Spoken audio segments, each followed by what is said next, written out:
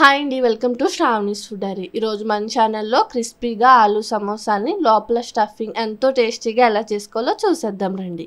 ముందుగా సమోసాల కోసం పిండిని కలిపేసుకుందాం. దీనికోసం వన్ కప్పు మైదాని తీసుకుంటున్నాను. మీకు మైదా ఇష్టం లేకపోతే గోధుమ పిండిని కూడా తీసుకోవచ్చు.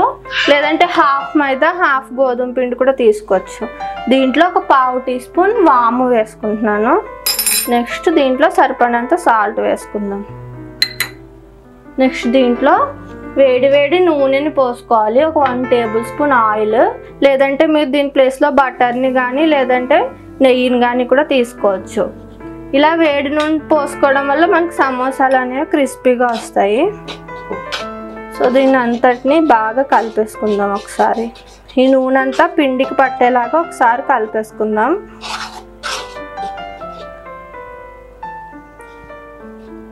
సో నూనె మొత్తం ఇలా పిండికి పట్టింది కదా. నెక్స్ట్ దీంట్లో కొద్ది కొద్దిగా వాటర్ పోసుకుంటూ పిండి ముద్దలాగా కలుపుకోవాలి. మనకి పిండి అనేది గట్టిగానే కలుపుకోవాలి. బాగా ఎంత వీలు ఎంత వీలుంటే అంత గట్టిగా కలుపుకోవాలి. లేదంటే మనకి సమోసాలు అనేవి మెత్తగా వచ్చేస్తాయి డీప్ ఫ్రై చేసేటప్పుడు. మనం ఏ డీప్ ఫ్రై ఐటమ్ అయినా సరే పిండి గట్టిగానే కలుపుకోవాలి. కొంచెం కొంచెం వాటర్ పోసుకుంటూ పిండి ముద్దను చేసేసుకోవాలి. సో ఇలాగా గట్టిగా హార్డ్ డో అనేది ఇలా కలుపుకోవాలి. సో ఇలా కలుపుకున్న దాన్ని ఏదైనా క్లాత్ కానీ లేదంటే మూత పెట్టేసుకుని ఒక అరగంట పాటు పక్కన పెట్టేసుకుందాం. నెక్స్ట్ మనం సమోసాలో స్టఫింగ్ కోసం మూడు ఉడకబెట్టిన బంగాళదుంపలు తీసుకోవాలి. ఇవి వేడి వేడివి కాకుండా ఇలా చల్లారిన తర్వాత ఇలా స్మాష్ చేసుకోవాలన్నమాట. వేడి వేడి స్మాష్ చేసుకుంటే వాటర్ అలానే ఉండిపోయి కొంచెం వాటరీగా అయిపోతుంది. అప్పుడు మనం స్టఫ్ చేసేటప్పుడు సమోసా అనేది పల్చగా అయిపోయే ఛాన్స్ ఉంది. సో ఇలా స్మాష్ చేసుకుని పెట్టుకోవాలి.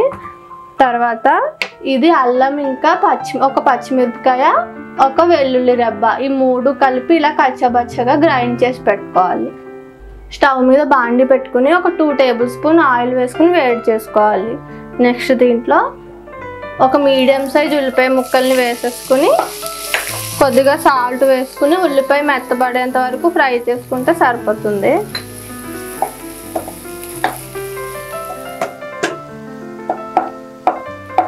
సో ఉల్లిపాయలు ఇలా లైట్గా మెత్తబడిన తర్వాత దీంట్లో మనం ముందుగా గ్రైండ్ చేసి పెట్టుకున్న అల్లం వెల్లుల్లి పచ్చిమిర్చి పేస్ట్ని కూడా వేసుకుని కాసేపు పచ్చివాసన పోయేంత వరకు ఫ్రై చేసేసుకుందాం. సో మనకి పేస్ట్ కూడా బాగా ఫ్రై అయిపోయింది. నెక్స్ట్ దీంట్లో తరిగి పెట్టుకున్న కరివేపాకు తురుము కొద్దిగా. ఇది కూడా వేసుకుని ఒకసారి కలిపేసుకుని నెక్స్ట్ దీంట్లో ఒక పావు టీ స్పూన్ పసుపు.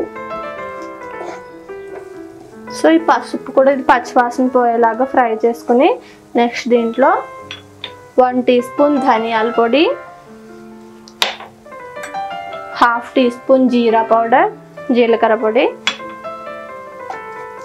నెక్స్ట్ దీంట్లో ఒక half tea spoon chaat masala. Garam masala ఒక పావు టీ స్పూన్. కారం తగినంత.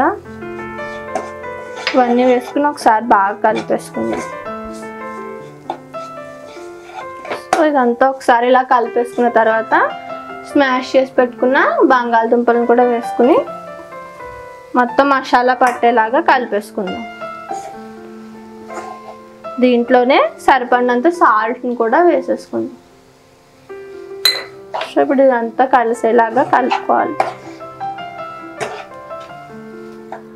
సో ఇలా మన మసాలా మొత్తం పొటాటోస్కి పట్టేసినాయి కదా ఫైనల్గా కొత్తిమీర తరుగు వేసుకుని ఒకసారి కలుపుకొని స్టవ్ ఆఫ్ చేసుకోవచ్చు.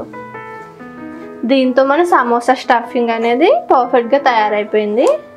సో ఇక్కడ నేను స్టవ్ ఆఫ్ చేస్తాను ఇలా స్టవ్ కట్టేసుకున్నాక ఇది మొత్తం చల్లారాక మీకు ఇష్టమైతే దీంట్లో నిమ్మరసం కూడా పిండుకోవచ్చు. ఆల్రెడీ చాట్ మసాలా కొంచెం పుల్ల పుల్లగా బాగుంటుంది. సో నేను ఇంకేం నిమ్మరసం పిండట్లేదు అనమాట సో దీన్ని మనం చల్లారి పెట్టుకుందాం.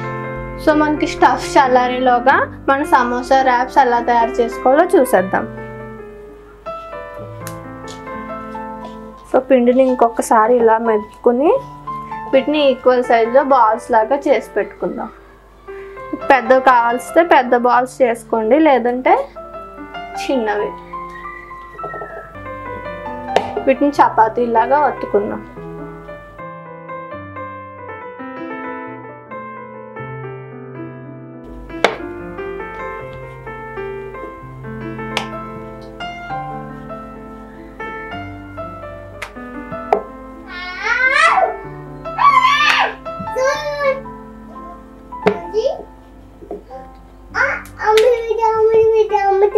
ఇస్తా.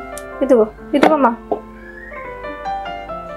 సో మరీ పలుచగాను కాకుండా అలా అని మరీ లావుగా కాకుండా సమానంగా ఇలా చపాతీలా చేసుకోవాలి.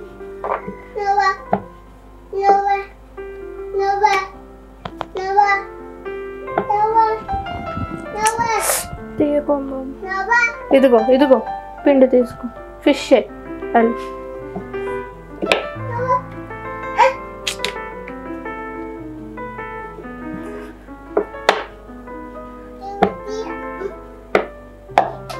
సో ఇలా చపాతీలా చేసుకున్నాక దీన్ని హాఫ్కి కట్ చేసుకుందాం.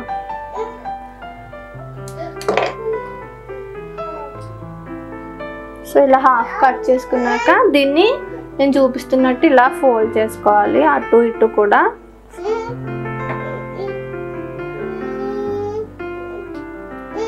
సో ఫోల్డ్ చేసుకుని సైడ్స్ని ఇలా చేతితో ప్రెస్ చేసుకోవాలి.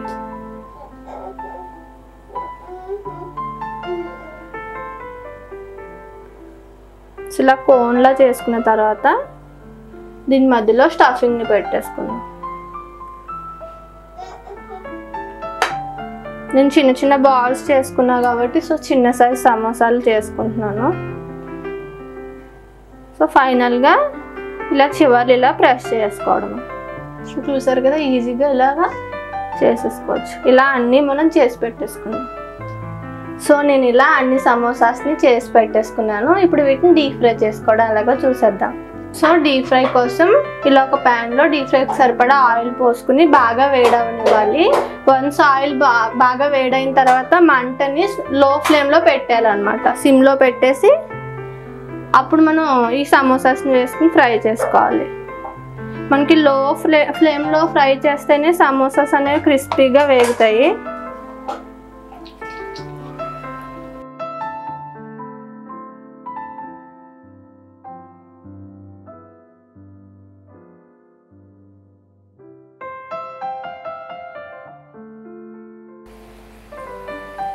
చూస్తే మనకి సమోసాస్ అనేవి మంచిగా కలర్ వచ్చేసినాయి కదా. సో ఫ్రై అయిపోయినట్టు వీటిని పక్కకు షిఫ్ట్ చేసుకుందాం. దీంతో మన క్రిస్పీ సమోసాలు రెడీ అయిపోయినాయి. చూపిస్తాను. ఇలా. క్రిస్పీగా సమోసాస్ అనేవి రెడీ అయిపోయింది మీకు ఈ వీడియో నచ్చింది అని అనుకుంటున్నాను. నచ్చితే ఒక లైక్ చేసి మీ ఫ్రెండ్స్ ఇంకా ఫ్యామిలీ మెంబర్స్కి షేర్ చేయండి.